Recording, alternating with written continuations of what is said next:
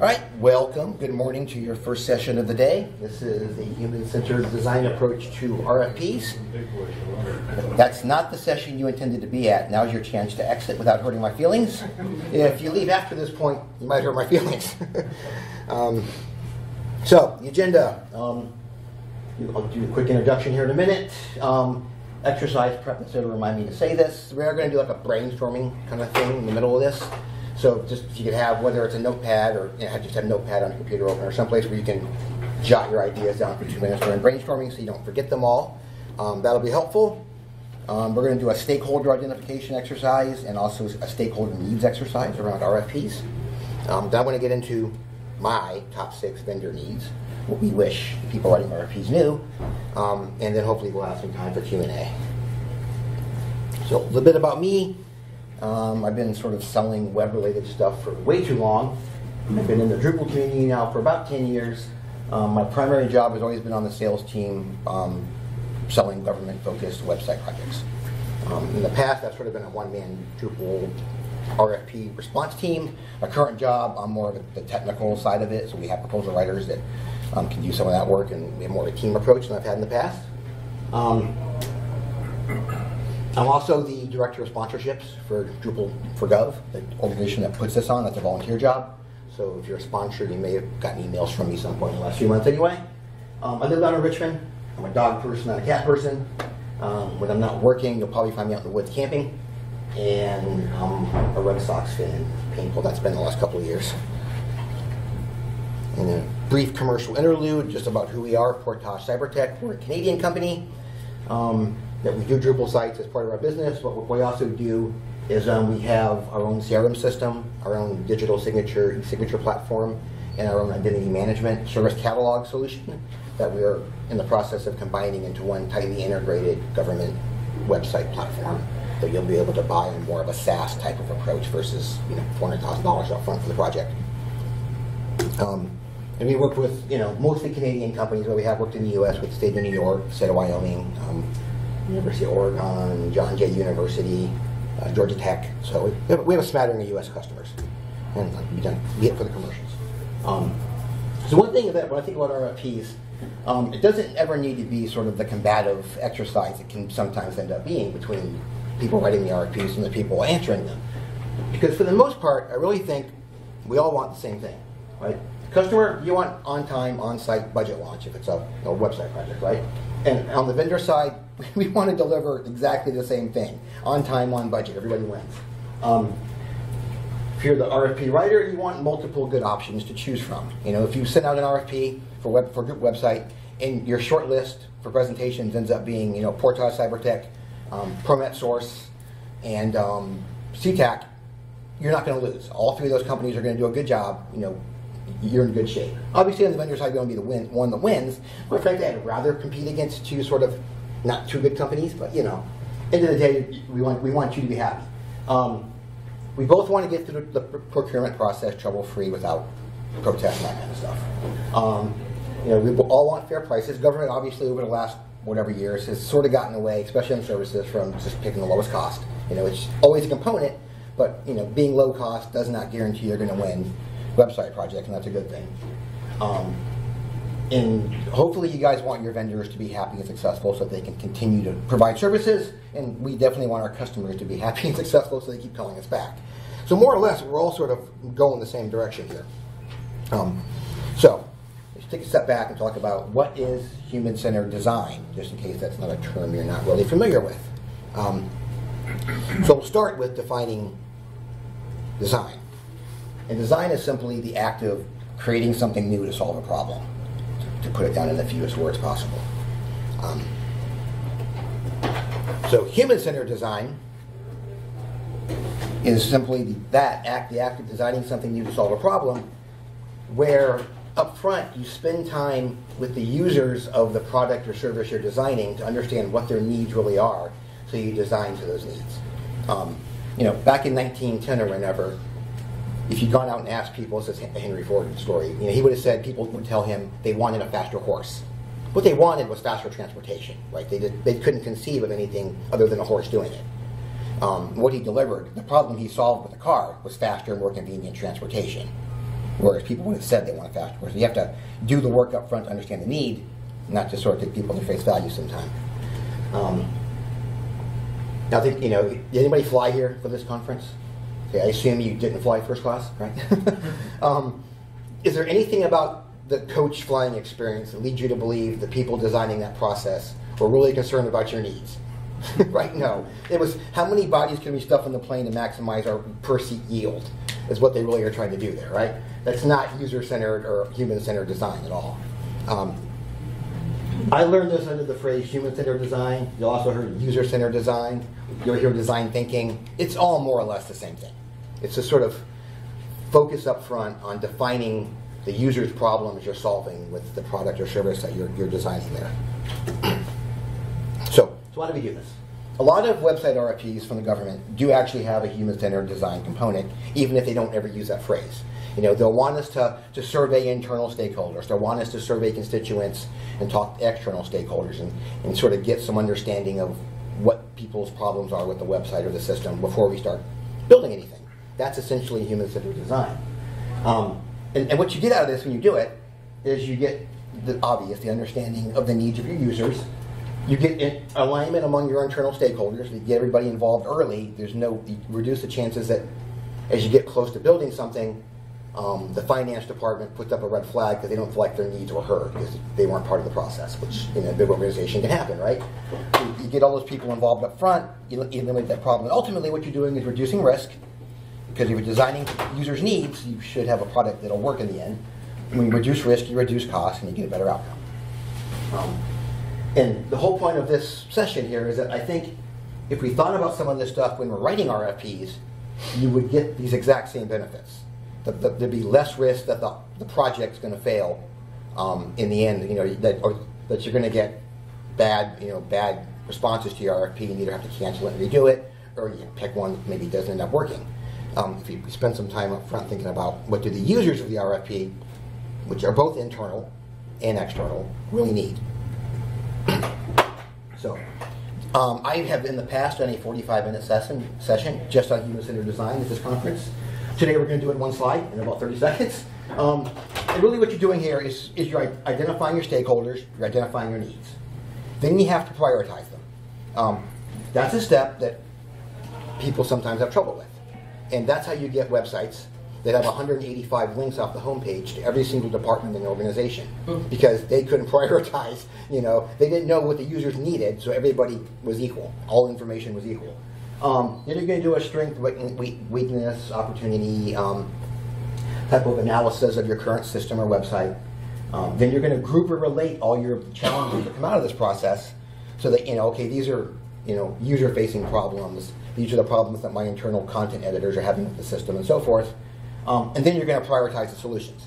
And, that, and it's sort of in the agile software development world, the prioritized solutions, that's essentially your, your backlog to build a website. These are the things we have to fix or build to make the system better. So, I started thinking, how much time do we really spend thinking about who the stakeholders are in an RFP? process. And there's stakeholders internal to, you know, your government agency or, or organization, and there's, you know, the vendor side of the stakeholders too. So I thought it would be fun, at least I think it's fun, maybe you guys won't, to take two minutes and do a brainstorming exercise and just, we get a piece of paper, open up notebook on, you know, open up, you know, notepad your notebook, whatever you want to do. Um, and we'll just take two minutes and just write down, you know, without thinking too hard, every stakeholder you can think of in the RFP process. And, and, if you're if you work for an agency, government agency, and you want to just focus on your internal stakeholders because it's easier, that's cool. The vendor side, if you all want to um, think about you know your stakeholders and your organization that are trying to respond to the RFP, that's fine. If you want to try to think of the wrong the other side of the equation and be creative, that's cool. Just write for two minutes. It's brainstorming. There are no wrong answers. And we can let me get my watch going here. We will start now. Okay.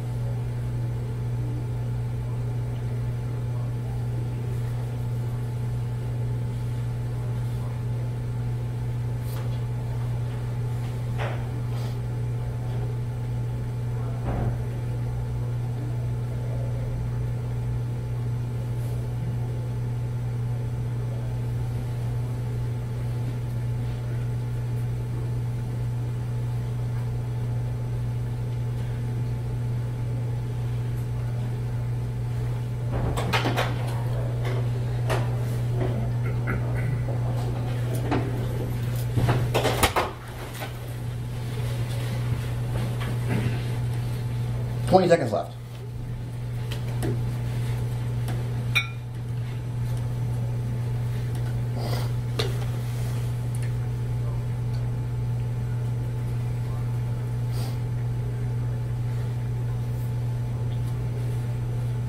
All right, cool. All right, now I thought we'd take a couple minutes and just sort of see what we came up with. Who wants to go first? Daughter, daughter stakeholder. and users of the work. Okay. How about the laws of the land? Yep. Yep. Absolutely. Agency leadership. Yep. You're talking government agency, right? You're talking Yeah. about- I mean, honestly, the agent, the government, you know, the web agency leadership too is a stakeholder, right? Because you know they're involved. talking about. I came up with like 20, so I'm sure there's more here. About the, the product owner of the. Yep. Product. Absolutely, the business user or the product owner, depending on the term you want to use. What about the actual citizens that will be using the product? Hundred percent. Probably the most important stakeholder, I would think, in, mo- in most cases. The client's web management team. Yep. Editorial, Yep. IT, Yep. By the way, I just realized I forgot to ask earlier. Show of hands, who's so, who's on sort of the vendor I respond to RFPs side of the world, and who's on the I write RFPs side of the world. Awesome. I was so hoping I got a few people here that actually wrote RFPs for a living. Um, so this is what I came up with on internal, sort of on the government agency side. You know, your content creators, your content editors, people that have to use your website to produce content every day. Um, the IT team, um, right, your, your security officer and his, his or her team, um, your digital marketing people, if, if, if you're doing that kind of stuff, the procurement and legal folks obviously have a stake in all this.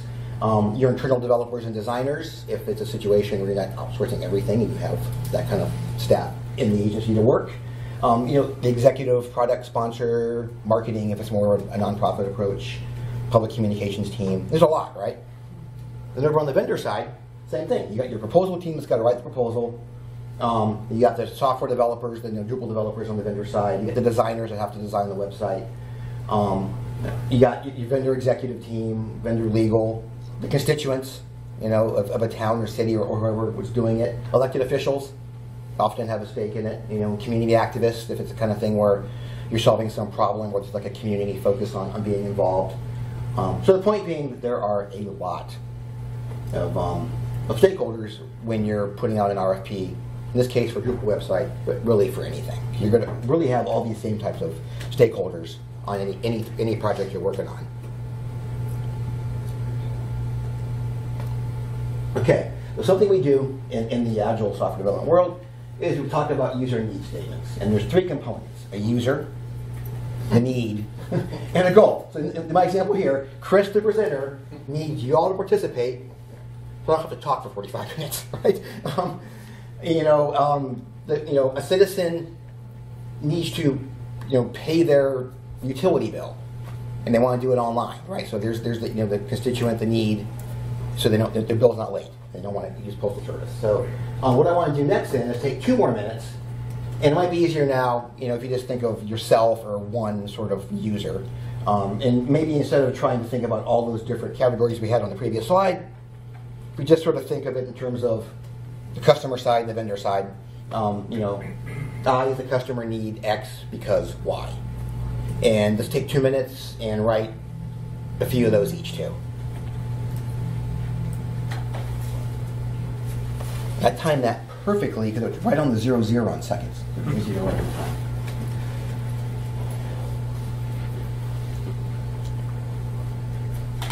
There you go.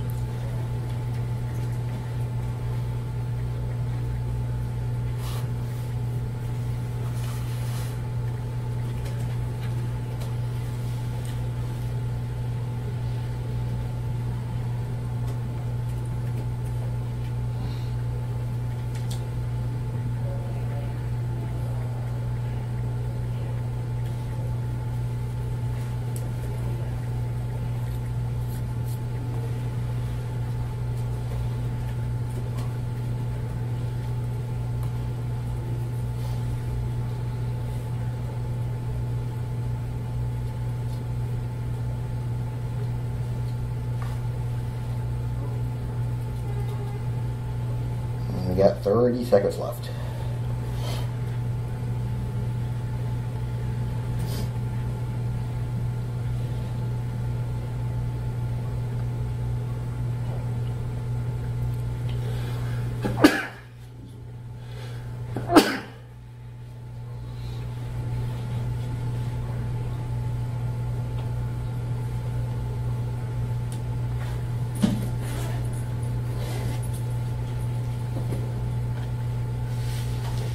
And time.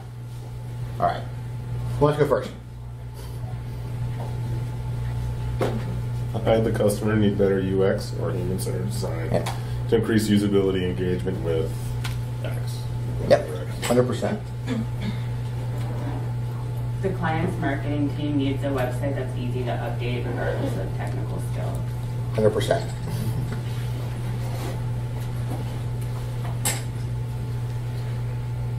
Anybody else want to throw one out?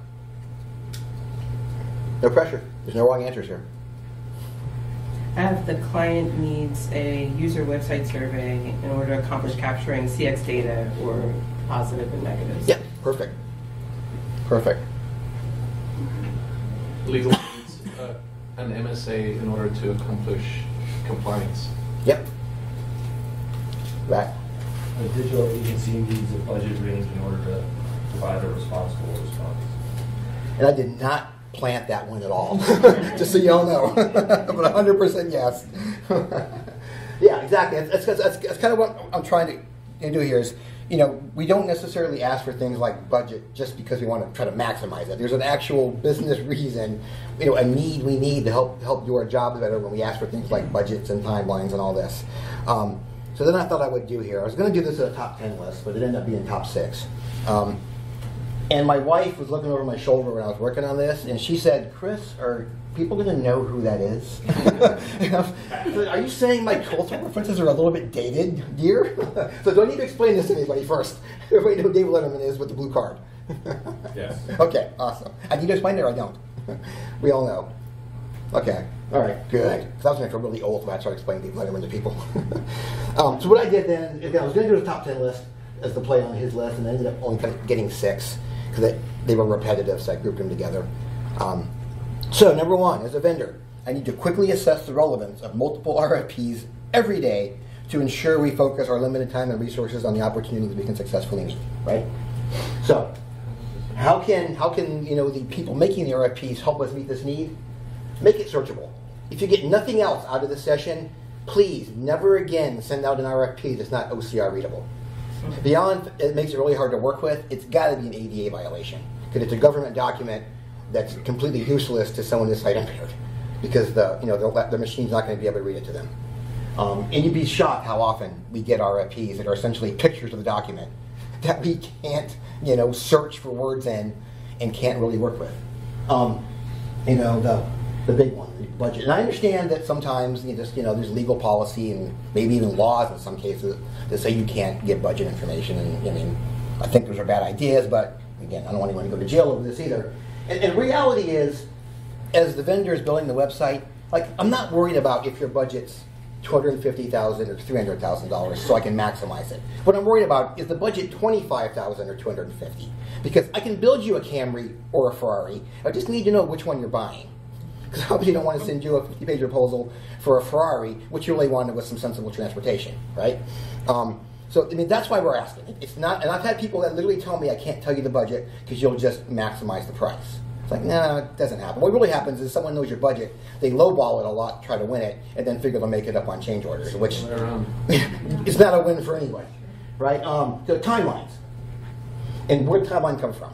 I mean, we, we frequently see super complicated website projects that need to be delivered in 90 days. Now, is that because the people writing the RFP aren't technical, and that seems like a long time to build a website, or is it because you got a major program initiative launching on March 1st and the website needs to be out for it? Because you know those are two separate problems to solve, right? I mean, if it's they didn't understand, we can tell you this is really a nine-month project. In most cases, oh, okay, we didn't we didn't know that. But obviously, if there's a program launching on March 1st and the website's got to be done on March 1st, well, then maybe the solution there we propose is it needs to be a simpler website so we can get something out there on March 1st and iterate. So again, we're trying to solve problems here. Um, technology or platform requirements. And again, I, I, again, I know that you don't want to exclude people and potentially lead to protests, so you don't always want to say we want Drupal or we don't want Drupal, whatever the case may be. But again, from the vendor standpoint, I don't want to spend 16, 20 hours writing a Drupal proposal for someone who's dead set on buying Sitecore. You know, so just tell us. you know, it won't hurt our feelings. Some people may try to convince you otherwise still, that's fine. But, you know, but, uh, yeah, I guess what I'm saying is, is when, when government people tell me we've done no research and don't know what we want, I don't believe you, quite frankly. You know, it's like, no, you guys have some idea what you want, or what you don't want, at least. I mean, if you're on Drupal 7 and absolutely hate it, and you want to go to WordPress, just say that in your RFP. Or, you know, word it as, we've been on Drupal for a long time, and we're, we're not sure it's the best platform for our future. If, you know, legal won't let you say no Drupal. We can read between the lines and always have to do it. It's part of, a big part of the job, quite frankly, reading RFPs. So, you know, give us the hints we need if you can't tell us outright that you don't want Drupal or you want WordPress or whatever the case may be. Um, and then also, if there are any non-negotiable requirements, really call those out. And that's actually leading into my next slide, so I'm going to flip it over before I do that one. Um, as a vendor, I need to understand all the non-negotiable requirements again, so I don't like give you a proposal you're just going to throw out after you spend an hour reading it because, you know, in my case, I work for a Canadian company, so if non-U.S. companies can't bid, make that obvious. Most of the time, I have to do the Q and A part and ask them, as a Canadian company, can I bid on this? Because nothing in the 120-page RFP says, you know, we have to have U.S. citizens working on this project, or we have to have a U.S.-based company working on this project. Um, so, you know, again, just make it clear. Um, also, and this is kind of a joke one here, read your boilerplate once in a while and update it.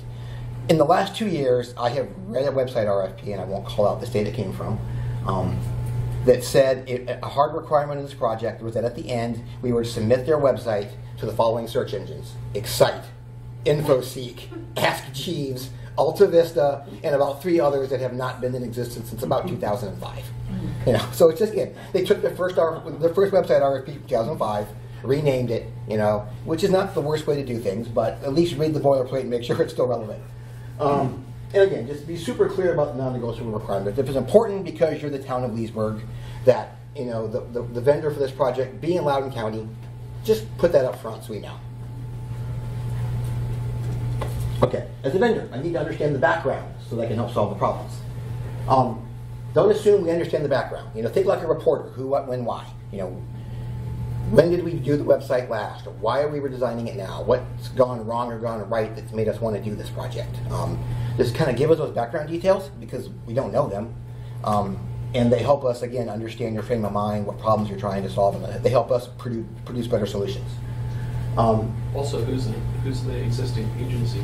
yeah. If there is one. Yeah, because it's public record and for, for a government entity, so you, know, you can tell us, or you can make us spend two hours trying to find it somewhere on, on a federal website. Um, towns and cities are famous for having their tourism department, right? These wonderful eight-page backgrounders at the front of the RFP, which make you want to visit your town or city, but don't help us write the proposal for the website at all. Um, so you can think about the stuff we need to know to, to, to build your new website. Why does why is the new one why is the old one bad? You know, what do you want to do better this time? Beautiful. Um, again, as a vendor, I always need to ask questions because I always need more detail than the RFP provides. Um, you will get five times the questions you're expecting. Just count on it. Um, I personally send in 20 to 40 questions on any RFP we're seriously consider going after in most cases. Uh, so multiply that by you know 15, 20 vendors, and you're going to get hundreds of questions incoming. Um, you will not answer them all in one day. Um, I can't tell you how often we see vendor questions due October 31st, 5 p.m. You know, client answers to be published November 1st, 5 p.m. No, you're not. not going to happen. Um, you know, you only need one day just to collate the questions and group them. You know, so you're not answering the same budget question nine times. You can just answer one budget question and be, be responsive for all of them. Um, again, provide detailed answers. Um, I, okay, I'll admit, I'm sure there are agencies, because I kind of see the same questions you do sometimes, um, that clearly they didn't read the RFP, and I don't like those people any more than you guys do. okay, but for mo- most of the vendors are reading the RFP at least twice, and these are still the questions we have. So you know, um, give us some detail in our answers, please. Um, and also, we are judging your answers. One of the things, one of the ways I can tell if this is a sort of recompete where the vendor, the incumbent's pretty much going to win it, just you know, legal's making you send out another RFP because it's been five years, or you really are looking for new ideas, is the quality of your Q and A. If I get a bunch of one-line answers in the Q and A, I'm like, yeah, they don't really care if they get good proposals. You know, they're incumbents got this one locked up. Which man, that's how it works. I understand that. No big deal. I'm fine with knowing that. I just don't want to again do all the work to find it out. Um, but, but, if I get back, you know, these nice paragraph chunky answers, really providing the additional insight I'm looking for, I'm like, oh, these guys really are looking for help. They really want they really want to get good proposals and have a successful project. Um, and those are the ones that are a lot more fun to work on from the vendor side. And those are those are the clients we want. And then as a vendor, I need enough details to accurately estimate the LOE so that I can provide the best possible solution. Um, I could honestly do 45 minutes on this slide. Maybe I'll do a future presentation. But start thinking about the three biggest, to me, the, the three biggest danger areas where website projects go way off the rails are design, migration, and integrations. So if nothing else when you're writing these, try to make sure you overshare those three bullet points. Um, design, you know, we, we, we look at the project and think, okay, they're going to need 12, 12 or 13 wireframes, 12 or 13, you know, mock-ups to build this site. And then the client was expecting an, a detailed mock-up of every web form in the project. You know, those are two very, that's a lot extra work that may not have been accounted for in our estimate or the budget or whatever. Um, same thing with migrations. Um, you know, if, again, if you got a website that's been around 10 years and it's got, you know, 20,000 pages and 33,000 PDFs in it, um, moving that to any new CMS, whether it's Drupal 7 to 10 or WordPress to Drupal or whatever, is going to be a huge, huge amount of work. And it's a huge risk factor on the vendor side to underestimate that piece. Um, and, in the same way, we don't want to end up overestimating by four times and make our project be ridiculously priced high because we weren't sure how complicated the migration was going to be. So, you know, try to give us the information we asked for there. The same thing with integrations. You know, so often we see, we ask like, okay, you mentioned there's some backend HRS system that integrates with the website. Can you give us some details? And they'll say, we'll be provided to the winning vendor. Well, too late. we can't, how do we, how do, we? is it, is it, is it a simple REST API call that we can do in a day? Or are we going to have to build a new API? It takes 150, 200 hours. I mean, it could be either one, and we have no idea at that point. Um, that's why we ask the questions in the Q&A about the integrations. So really, you know, overshare to the extent you can, please, because the more information we have, the better, um, the better proposal we can give you, and more accurate proposal we can give you. And the reality is, quite frankly, and I realize most projects are fixed costs. The only thing I, I know about my fixed cost price is wrong. I just hope it's not wrong by much, because really, there's no way you can take a two thousand dollar project and really estimate it, you know, to a dollar, um, you know, from a from a 50 page RFP. Just that's not possible. Um, and again, I could do 45 minutes on why we shouldn't do fixed cost bids, but again, different subject. Um, and I think this is my last one. Yeah, as a vendor, I need to understand the decision process um, so I can produce a proposal tailored to your priorities. Um, you know, if it's a very technical team evaluating proposals, that changes how I write the proposal versus if it's like the marketing comms people making the decision. Um, I will overshare on technical stuff, obviously, for the, the nerds, whereas I'll back off that in the proposal. It's more of a communications focused team. Um, so, you know, please, get, generally, government's pretty good about this these days, about you know, giving us a decision grid, and it's 30%, you know, your process, 20% resumes, and so forth and so on. Um, because when I, I literally will tape that up in front of my laptop, you know, or have it in a tab to remind myself when writing proposals. This, these are the four things that are really important to the customer in this in this RFP. Make sure everything I'm writing, I can relate back to the four things you told me are important. Again, I want I want to give you a proposal that you love. Um, and then, so yeah, same thing. You know, tell us who's reviewing it, and then not by I don't need names. I just need to know again if it's you know the CTOs, the main decision maker, versus the you know the director of communications, because that's two very different proposals most of the time.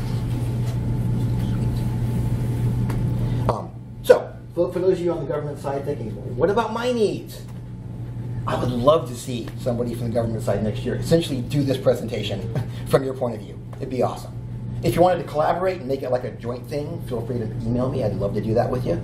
Um, so yeah, I'm not ignoring the customer needs here at all. I just I don't honestly know them from that point of view because I'm not on that side of the, of the process. Um, but would absolutely love um, to see that kind of presentation so that we understand some of the decisions you're making in RFP that make us scratch our heads sometimes. And to summarize, essentially help us help you. Again, we're all I think we're all on the same side here. Um, so give us the basics up front to the extent you can legally.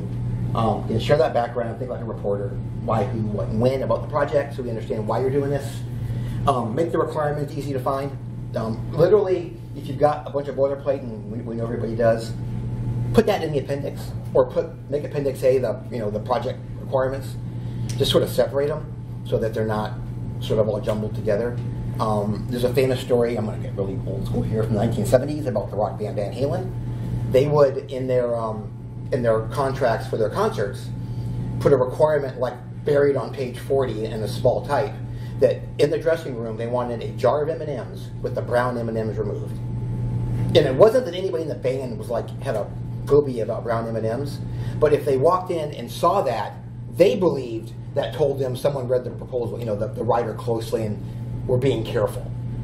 But I've always thought that was a bad approach to it because their lead singer literally swing across the stage on a, on a hook, you know, David Lee Roth. And like I was more, I'd be more worried about did they double check that thing? you know, not that someone who should have been working on safety was spent three hours separating brown M&Ms out of the bag of M&Ms for the for the candy counter, right? Um, so you know, just make the requirements obvious, basically. Um, expect lots of questions. You can never ever provide too much detail in RFP. I'd much rather have too much detail than enough. Um, and sort of tell us how you're making the decision so we can scale things and scope things the way you want to see it. And we're doing this in 30 minutes in the hotel this morning. I did it in 33 here. It's not bad. Um, and I wanted to leave like a good 15 minutes for, for questions since we were going to have sort of both the RFP readers and the RFP writers in the same room. Yes. I have a question for some of the RFP writers. Um, going back to the background, what are some of the reasons or maybe some of the things, I guess, preventing roadblocks that you're having and sharing all of the background? Is it really that you're not doing uh, sort of the research? I have heard that before. Is it more than that? Is it like legal challenges? Would love to dive deeper into what some of those reasons are.